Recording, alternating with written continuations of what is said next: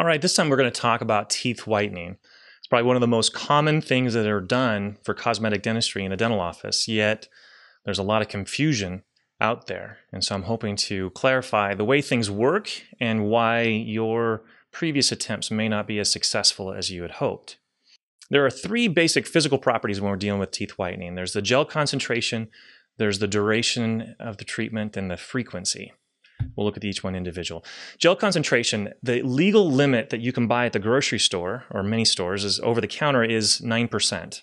Many times they will display a different percentage, but it's a different combination. But as it breaks down into uh, a workable substance, 9% is, is the legal limit. So in a dental office, many times we distribute things in the 15 to 20% range, maybe 22 even. Uh, a little bit more concentrated than what you get at the store uh, but is uh, under what we call the supervision of a dentist. Not directly because you're doing usually at home, but we can distribute uh, a little bit higher percentage for, for that. We do have in office procedures. Usually those percentages are in the 35 to 55% range. Very strong and can have some side effects. And that's why we usually don't give you the, the gel to take home at that strength for fear of damaging the, the gum tissues. The papilla, the little pointy part between the teeth, called the papilla can be burned chemically if we're not careful. So, duration, I think we would all agree that 30 minutes is not the same thing as maybe eight hours. There are products out there on the market that say that they are just as good as any other product, and uh, if not better, because you only need 30 minutes to have things work. Um, it's a little bit misleading because, truthfully, if the tray isn't uh, fabricated correctly, the uh, peroxidases in our saliva will break down the gel and make it completely useless. And usually takes about 30 minutes for that to happen. So they're not lying when they say our gel is just as good as the other company, and but we only need 30 minutes, because what they're saying is your saliva is breaking down our product just like any other product. So the tray design is a key factor, and that's why uh, I tell patients the tray is there mostly to protect the gel from your saliva. Uh, saliva has these peroxidases that breaks it down, uh, most offices use a material that is, is insufficient or inferior. Uh, it's got to be rigid, not flexible. So, a litmus test to see if maybe the tray that you got in another office isn't correct is if it's a very flexible material, then it's not as good. It should be rigid. Now, rigid does allow you to also be a very thin material. So, these uh, are very, very comfortable. So, in the example here, the picture shows the uh, ordinary tray. Now, sometimes they may trim somewhat, but it tends to be a fairly rough type of a trimming uh, effort there. But it goes up, as you can see, it goes up onto the gums. This is not protecting the gums from the gel because it's on, on the tissue itself. They should be scalloped. It should be no, none of the tray material should go up onto the gum tissues but it, it, needs to be designed in such a way that uh, it's very very tight and snug to the to the enamel at right along the gum line. And so there's a, a, special way to make the trays so they can do that. There needs to be room for the gel itself. And so we create what we call reservoirs. And this is an, a, an example of a resin uh, reservoir that's being used and the, the tray materials is done over that.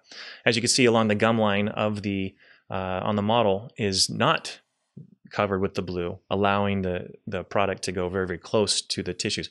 We also then scrape some of the stone away from that area, that, that white stripe right along the gum line, so that when the material is sucked down onto the, the stone, it's actually smaller than our natural tooth structure. So that it will help pr- protect the gel from, from the peroxidases. So in my office, I tell people they have four basic options. There's over-the-counter strips. I recommend if you've never done whitening before, to perhaps check out the uh, what you can get at the at the store. If a forty dollars solution makes your teeth whiter and satisfies you, then I think that's the best way to go. I would certainly hate to go for that makes your teeth the whitest that they can possibly get if you were just simply looking for a lighter shade than than you've got. It's a lot less complicated if you're just trying to go whiter than if you're trying to get your teeth to be the whitest. So the 3D Crest white strips is a very common product out there.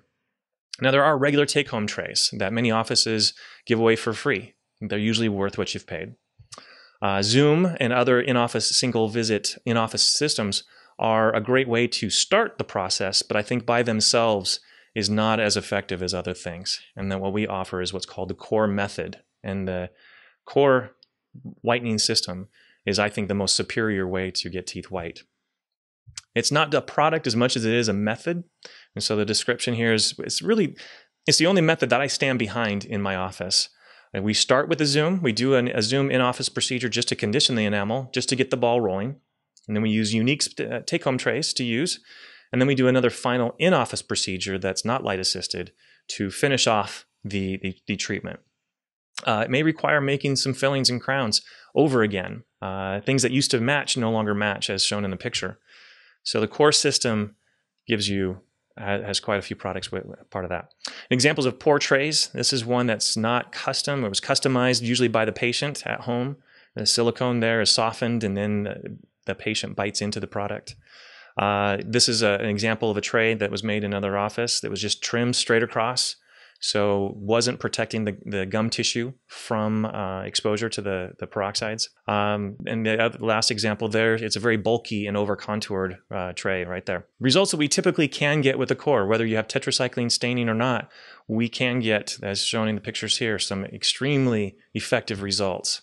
Uh, we used to tell patients if you had kind of a gray hue to your teeth, not to be too uh, optimistic about the results that the yellow and uh, darker brownish type colors uh, reacted very, very favorably to a bleaching process, but the gray hued teeth did not.